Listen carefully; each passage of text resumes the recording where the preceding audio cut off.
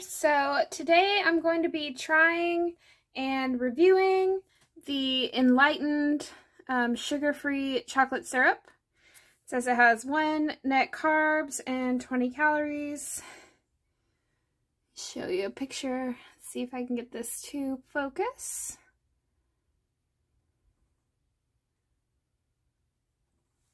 Yeah, so normally, um, as if any of you uh, follow me or have watched multiple of my videos, you'll know I'm a huge fan of the ChocZero syrups. Um, but I have not been able to get a hold of any of the chocolate one. I usually order it on Amazon, but I haven't been able to get a hold of it lately. Um, so I thought I would give the Enlightened chocolate syrup a try to see how I like it.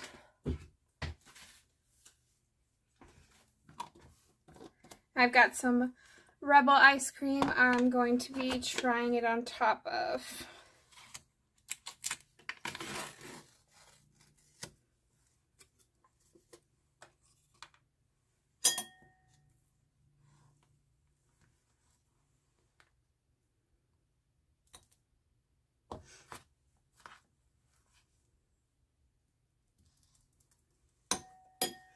Okay, let's give this a try and see. Oops. Hello.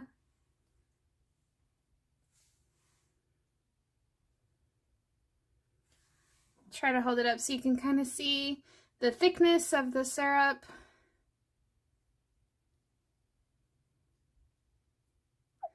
All right, that's enough to try. that's enough to try at least.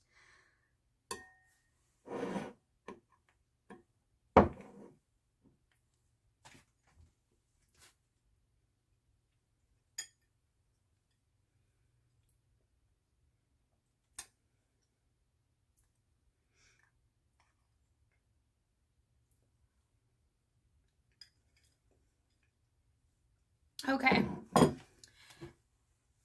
Now, I still love ChocZero. Don't get me wrong. I still love ChocZero. Especially their maple syrups and um, their caramel is amazing. But I have to say, I think I prefer the Enlightened chocolate over the ChocZero chocolate syrup. It's just, like, this is more, this is like the same consistency as like, you know, the sugary chocolate syrups that you grew up with. Um, so yeah, I, I think I might be, um, mainly doing the uh, enlightened chocolate syrup, especially because it has similar ingredients.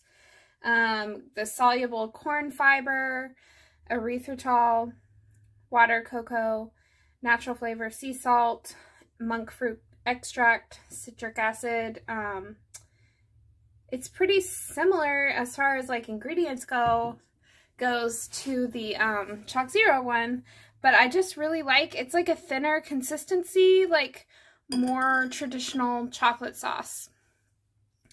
So for me, it's five stars. Like they hit it out of the park. Um, I don't really even taste an aftertaste. Let me let me give it another try.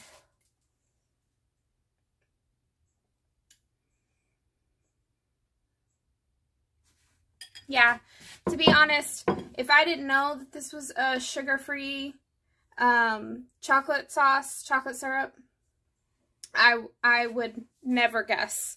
It tastes just like normal syrup. Like I don't taste any kind of an aftertaste or anything of the sort. Um yeah, I I'm actually like super super shocked. I was not expecting to like this as much as I do. And I actually think this may be um and like I even prefer the taste, but I think it actually may be um even less expensive per ounce than the ChocZero. Um,